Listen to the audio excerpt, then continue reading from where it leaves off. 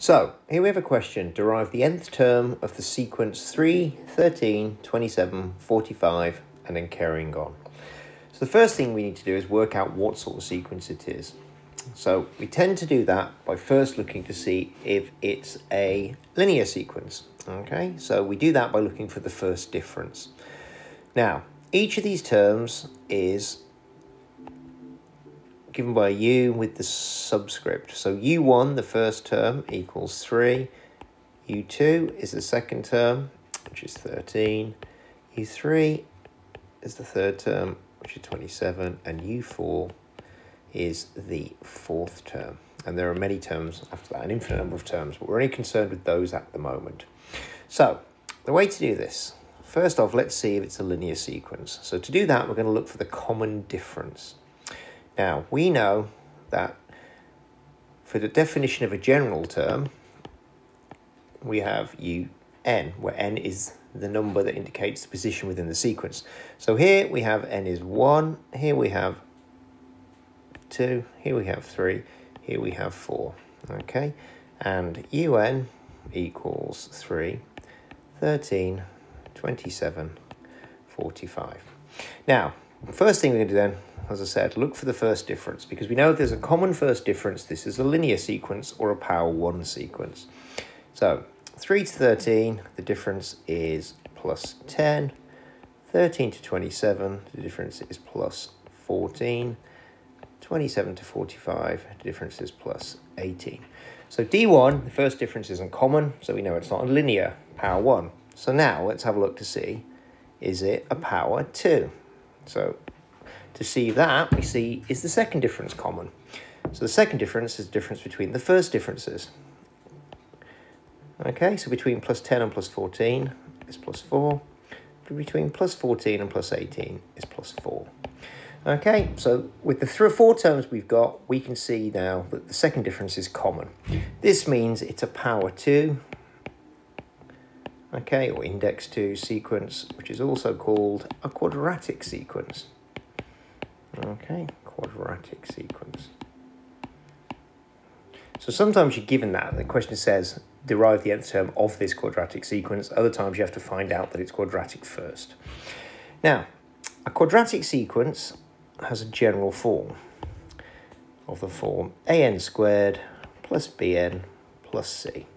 So it's our old friend, the quadratic equation uh, quadratic expression, except instead of x's we use n's, okay? And n is the position in the sequence.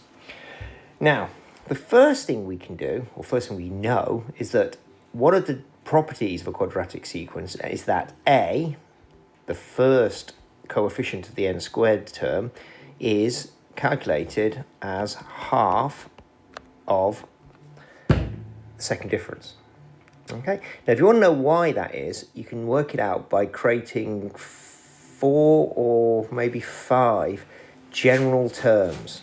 Okay, so what I mean by that is use an squared plus bn plus c, but put n is 1, n is 2, n is 3, n is 4, and so on. And then work out what the terms are as expressions, and then you can work out what a is, and that will give you half of the second difference.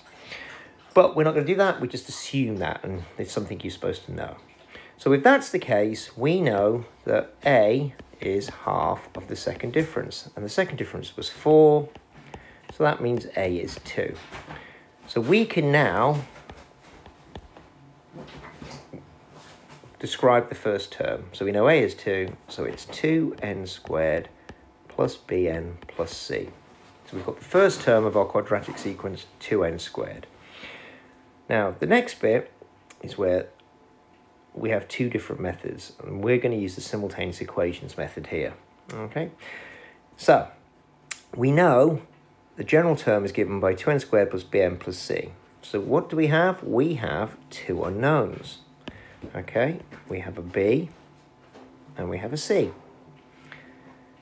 Now when we have two unknowns, if we wish to find out what they are, solve them, we create what's called a system of equations, and which we solve simultaneously at the same time.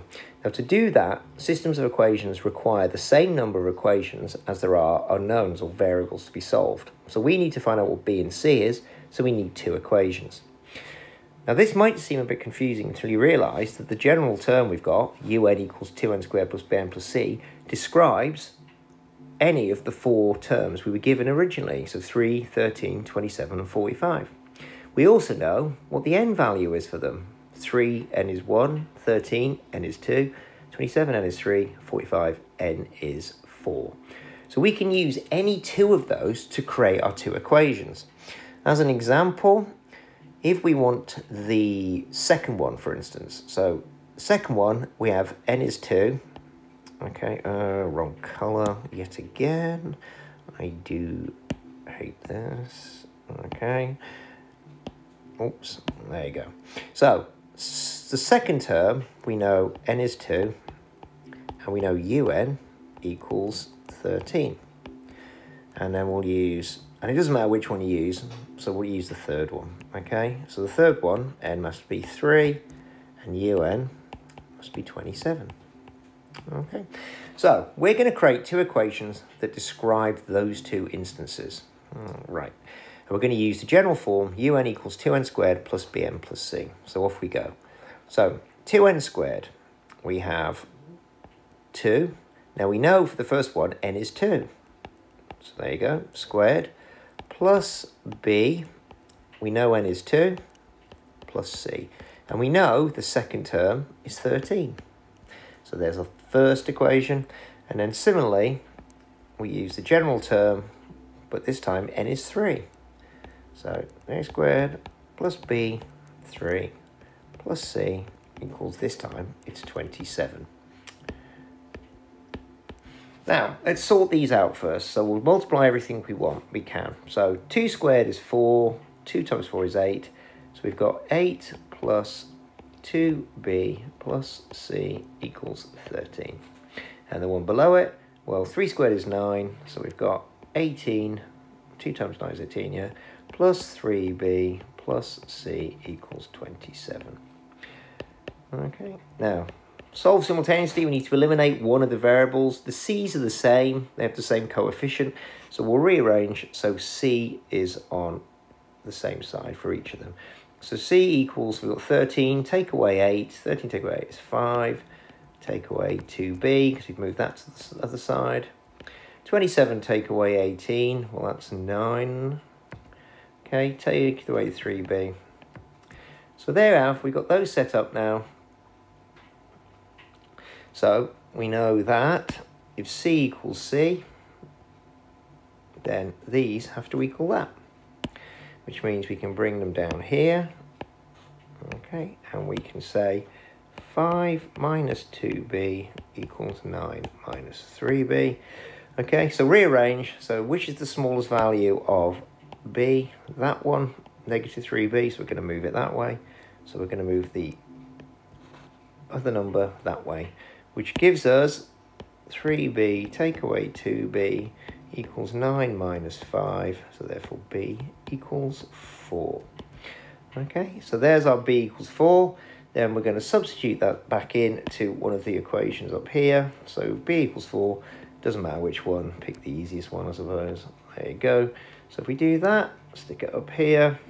So we have c equals 5 minus 2 times b, b is 4.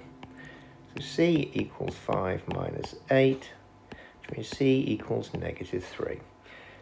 And that's our third coefficient. So now we can put a, b and c together and create our nth term. So that means what we have is a lovely, the nth term for this sequence is 2n squared plus 4 n minus 3. And remember, once we've got it, we should always check. So let's check to see if it works if one of the terms we haven't used. So if we go back up here, we see, what have we got? Uh, or there's the fourth term should give us 45 if this is correct. So does the fourth term give us 45? So let's have a look. So does the fourth term give us 45. So 2 times 4 squared plus 4 times 4 minus 3. So is that true? So let's have a look. 45 equals 4 squared is 16. 2 16s are 32 plus 16. Take away 3. 45 equals 45. So yes, it does. So therefore, we must have the correct nth term. And that is maths magic.